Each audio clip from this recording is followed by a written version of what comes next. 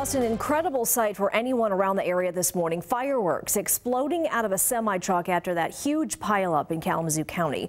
More than 100 vehicles were involved in the pileup on I-94. At least one person was killed, dozens injured. We have continuing team coverage tonight. First, though, we go back to Fox 17's Darren Cunningham for the latest updates on this crash.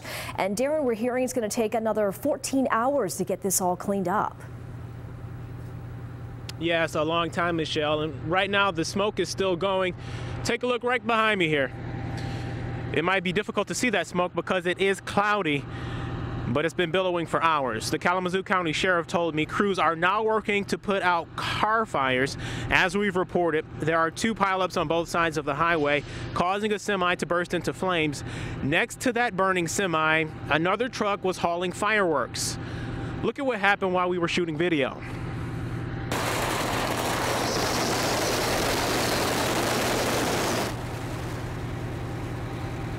That would be fireworks igniting as our camera rolled. Fox 17 photojournalist Chris Sage had to dive into a ditch to get out of harm's way. In fact, everyone ran for cover. We really couldn't believe what we were watching. We heard state police say more than 100 vehicles were involved. I think at this point we're saying about 120 vehicles. There's very little space between the pileups on both sides. Where one ends, the other begins. Sheriff Richard Fuller told me it's not clear why a second pileup occurred, but he suspects it was a domino effect on both sides of I-94. This is I-94. This is not the first pileup we've heard of, unfortunately. Right in your years of experience, just talk about this. What is what is it about this stretch? Uh, in this stretch, um, I've worked out here uh, for over 26 years now, and in this stretch, what we have found is that uh, you're in a wind tunnel. I mean, right now you can feel the wind. You can probably see it pushing against all of us, and uh, the wind pushes straight on down I-94. So that has its own problems.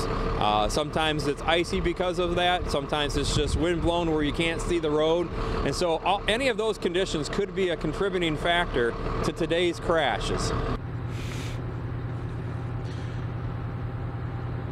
And Fuller says uh, that county and area agencies uh, do what they can to prevent something like this, but because of nature, sometimes there's just too much to overcome and the roads become icy. Now we're told that uh, roads will stay shut down, as you mentioned, uh, for about 14 more hours or so as investigators comb this catastrophe. I also want to point out that there was or still is concern as to whether there are more victims uh, within that crash site crash site because they're so focused on trying to put out that fire right now so um, I guess we'll learn more as the evening goes along. But for now, reporting live in Kalamazoo County, Darren Cunningham, Fox 17 News. All right, Darren, thanks for that. We'll see you again next hour. And we continue our team coverage right now with Fox 17's Paul Cicchini.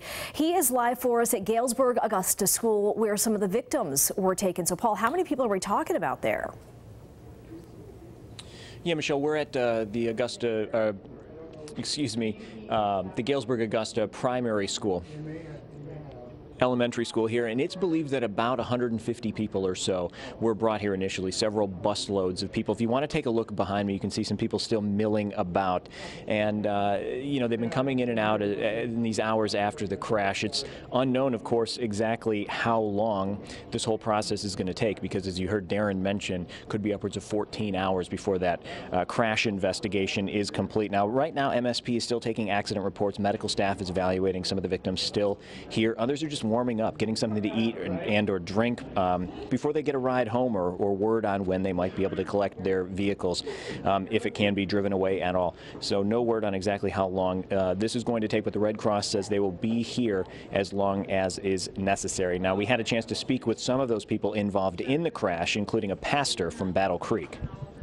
It just happened so fast, really. You don't, you're really not thinking too much. Uh, um, it was just kind of just watching a, semis, you know, two different, you know, two different semis, one just flying right, sliding right by you. You're like, no, no, don't hit me, don't hit me. And I believe, yeah, yeah, God's always uh, watching out for us, so no doubt about it. Uh, so, you know, today for sure.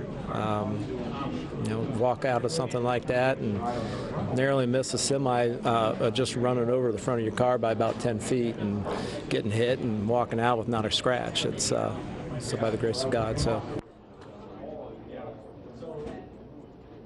Now, again, it's unclear exactly how long this warming shelter will need to be open, but it is going to be open as long as is necessary to make sure that everybody who is here coming in or out will be taken care of and that they will have either a, a ride home or some form of transportation to get back to their vehicle wherever it may be. Of course, the Red Cross um, of Kalamazoo and Battle Creek and Michigan as a whole is here on scene and uh, you know, they are prepared um, on call basically for disasters just like this one.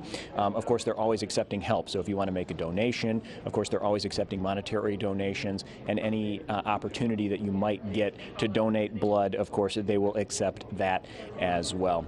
Um, we'll keep in touch here and bring you another update as uh, soon as we get one. For now, we are live in Kalamazoo County. Paul Cicchini, Fox 17 News. All right, thanks, Paul. We continue our team coverage now with Jessica McMaster, who spoke with a witness earlier today. She is live for us once again near Galesburg. Jess? Yeah, Michelle, as you heard Darren mentioning a little bit earlier, these crews aren't going home anytime soon. Take a look at another live look from this scene. You can see that there are still tractor trailers in the ditch there. We're told that there were 50 to 60 trucks like this involved in this crash with a total of more than 100 vehicles all in all. Just an incredibly horrific sight out there. And as Michelle mentioned, we did speak with a witness, Ed Olette, who actually provided us with this video you see here. He was on his way to work driving west on I-94 when he came upon the crash that was in those eastbound lanes. He says traffic came to a halt. That's when he pulled off to the side of the road and began recording. But then suddenly a second crash began to happen right behind him. Everybody kind of stopped and was just kind of looking to see what's going on and then the cars behind us just started piling up. Driving upon it was uh, pretty scary with vehicles hanging on the guardrail and uh, seeing some flames starting. Um, that was concerning. And when you see people running, uh, that is, uh, it's certainly a scary situation. And again, it's still too early to know how many people were injured in this pileup. We do know that there was one death, but of course they're still going through some cars, putting out fires. So it's going to be several hours before we have all the details. But we're going to be following back up throughout the 5 and 6 o'clock newscast. So you're going to want to stick with us for those most accurate, up-to-date information. For now, reporting live in Kalamazoo County, Jessica McMaster, Fox 17 News. All right, Jess, we'll see you then. Thanks for that. And joining me now in the studio to talk about weather conditions at the time of that pileup. Again, you mentioned that snow squall, and the sheriff said that makes sense because it was on both sides of the highway. And I can show you that on radar in just a second. Let's talk about what preceded that, though, Michelle. In yeah. that area from Kalamazoo to Galesburg, yeah. they had about seven or eight inches of snow from the winter storm itself. Yeah. They were technically still under winter storm warnings until 4 p.m. But what was it? What was what it was transitioning to was the uh, the lake effect and that snow squall that came in. We've got current conditions that were down at the time. Good afternoon, everybody. There is no Galesburg uh, official National Weather Service reporting station, so we go to the closest closest one, which was Kalamazoo and Battle Creek, because Galesburg is between those two.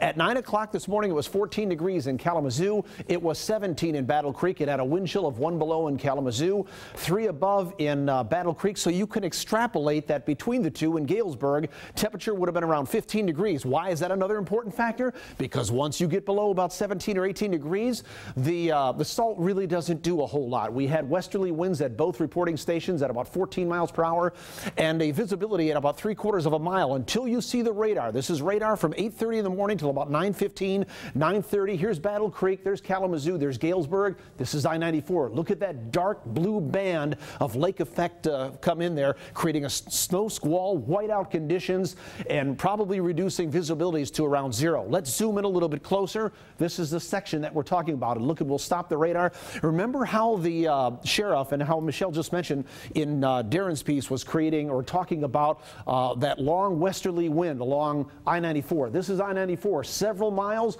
The wind's coming in from this way, several miles right along I-94, and that's what's creating the icy conditions and probably the snow squall and the whiteout conditions. As Joe Kopacek mentioned a few minutes ago, Lake effect can be a highly variable thing. In some locations, it might be sunshine, and all of a sudden you drive into one of these snow squalls, and it changes absolutely like that. And this is very reminiscent over the last several years here in West Michigan, along places like US 131, 196, I-96, to where we see these 10, 20, 30, 40 car pileups because of these lake effect snow squalls that come in and then they disappear a few minutes later. Obviously, the damage was already done there with people not being able to stop, and of course, this was all preceded by the roads already being snow covered and icy from the seven or eight inches that we had from the actual system itself. We'll talk more about this coming up in the five o'clock hour. And if you want more on my analysis from a meteorological perspective of this car pileup, I've got a story posted with all the details we just went over. If you go to fox17online.com or check our Fox 17 Facebook page. Michelle?